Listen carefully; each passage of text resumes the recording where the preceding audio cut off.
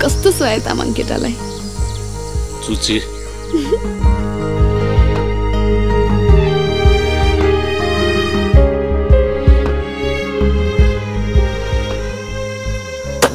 तिमी त घर जै बन्ला जस्तो छ त। तिम्रो बाउले मान्दा।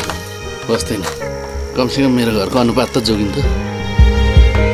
मेरो पनि घाँटी सुक्यो माइला पिउँछौ त जाँड। बाहुनको छोरा धेरै नजिस्काए पहिला तिर्खा मेटाउ न जाँडले जात जाँदैन। जा पानी लिएर आइज। कम त लुरी थियो। अहिले ज्यान फुको भन्दैमा बडा निष्ठुरी हुँदो रहेछ। स्यालले मुत्ने जग्गाको भने जति दाम। इस पाइस मलाई ससुराले दिएको जग्गा स्यालले मुतेको चाहिँ कहिले दिएको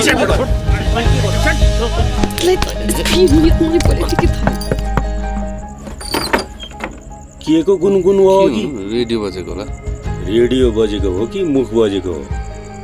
त हाम्रो छोरीले चाहिँ त्यो फुर्बामा के देखेको नि के देख्नु र? भैँस आएपछि केटाकेटीको आँखा फुट्छन्। अनि दुईजना बुढाहरूलाई चाहिँ मेरो बिहेको के साह्रो चासो हो। बढी जान्ने न हो हामीले जात मिल्ने केटी हेरेका छौँ। मलाई जात मिल्ने चाहिन भात मिल्नेमा पुग्छ।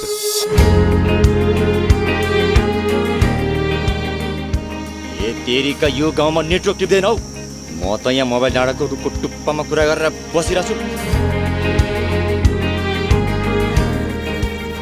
भोटका त्यस्तो हो कि मेरो मनै त्यस्तो हो। त्यो तारा मन पर्न थाल्यो हो मलाई। केटी माग्ने यो तरिका एकदमै रमाइलो लाग्यो। फेरि मलाई यो नाकमा फुली लाउने चाहिँ राम्रो लाग्छ तर यो काँधमा फुली लाउने मान्छे चाहिँ त्यति राम्रो लाग्दैन है।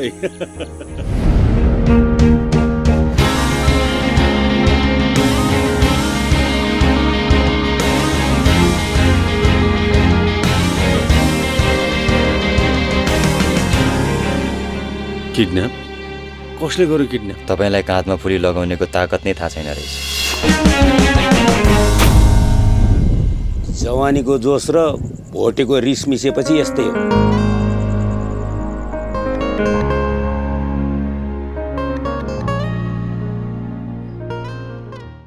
Na na na